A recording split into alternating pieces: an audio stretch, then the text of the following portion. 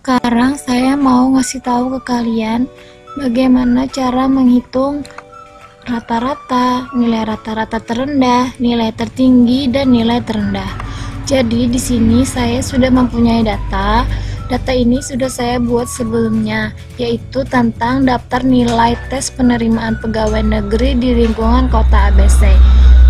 Kenapa kota ABC? Karena di sini saya cuma ingin mencontohkan atau memberitahu kalian bagaimana cara menghitung nilai rata-rata, nilai terendah, nilai tertinggi, dan nilai rata-rata terendah.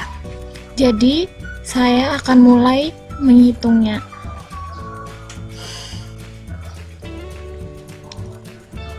Jadi, untuk nilai rata-rata ini diambil dari nilai umum, nilai psikotes, dan nilai kesehatan dari satu orang peserta yang mengikuti tes penerimaan pegawai negeri.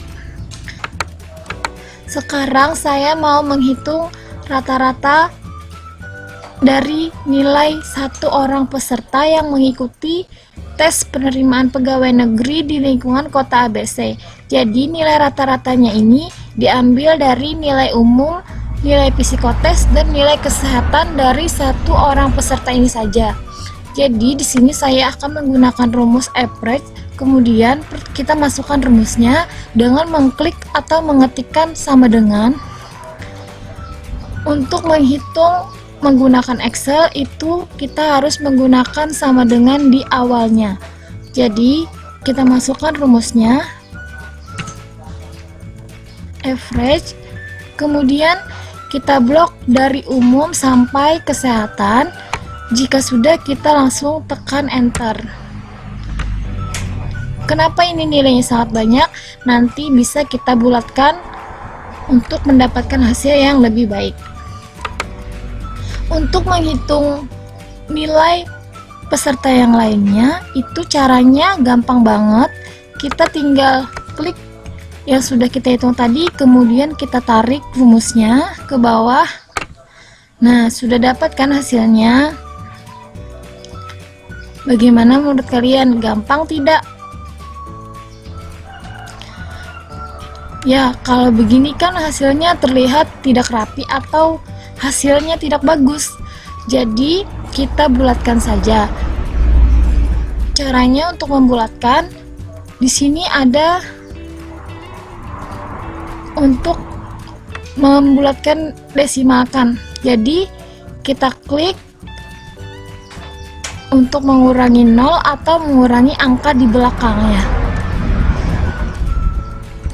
Kita bisa klik.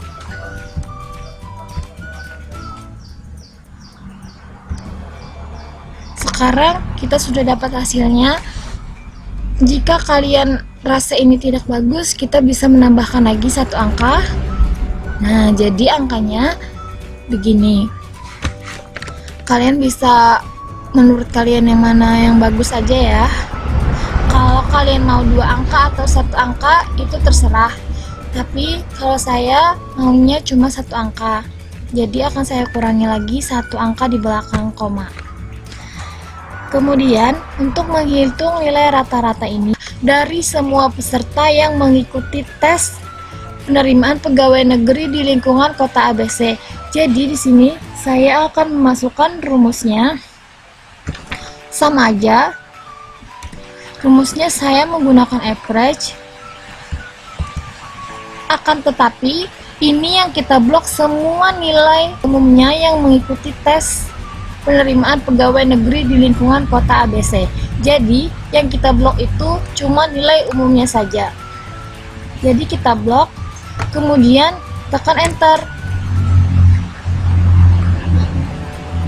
ini untuk menghitung nilai psikotes dan kesehatan kita tinggal tarik rumus yang sudah kita hitung di nilai umum tadi. Nah dapatkan hasilnya. Jadi di sini kita ada dua lagi yang belum kita hitung nilai tertinggi dan nilai terendah. Jadi, untuk menghitung nilai tertinggi, kita bisa menggunakan rumus max. Caranya, ketik sama dengan, kemudian masukkan rumusnya max. Kemudian yang pengen kita hitung kan nilai tertinggi dari nilai umum. Jadi kita blok dari atas sampai bawah, kemudian tekan enter. Untuk menghitung nilai tertinggi dari psikotes dan kesehatan, caranya kita bisa tarik rumus yang sudah kita hitung di nilai umum tadi. Tarik. Nah, kita sudah dapat hasilnya. Kemudian untuk menghitung nilai terendah, kita bisa masukkan rumus min dengan cara ketik sama dengan kemudian masukkan rumusnya min kemudian kita blok dari atas sampai bawah kemudian tekan enter. Nah begitu juga caranya untuk menghitung nilai terendah dari psikotes dan kesehatan. Kita tinggal tarik saja rumus yang sudah kita masukkan di nilai umum tadi. Jadi kita tarik. Nah, sekarang kita sudah dapat hasilnya. Seperti biasa, ini terlihat tidak rapi, jadi kita harus membulatkannya dulu. Dengan cara seperti tadi, klik klik klik sampai dapat hasilnya. Nah, bagaimana menurut kalian?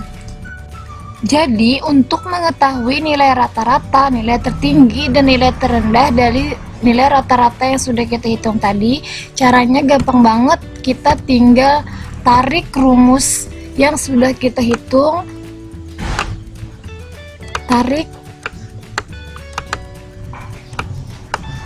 dan ini tinggal kita bulatkan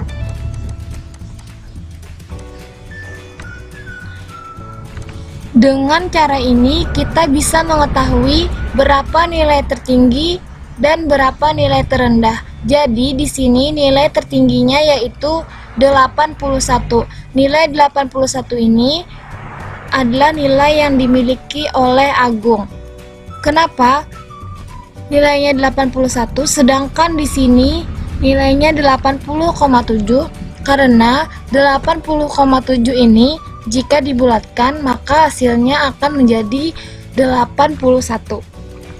Sedangkan nilai terendah adalah 69. Nilai 69 ini adalah nilai yang dimiliki oleh Agung. Sampai di sini saja perhitungan kita, maka kita sudah akan mendapatkan hasil yang kita inginkan untuk menghitung nilai tes penerimaan pegawai negeri di lingkungan kota ABC.